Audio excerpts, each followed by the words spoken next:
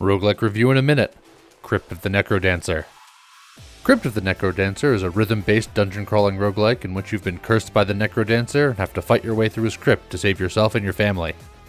The core gimmick of this game is that you have to stay on beat with the level's music to fight the various minions of the crypt.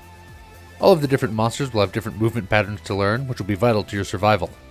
You attack by moving, but if the monster moves into you at the same time, you'll get hurt instead.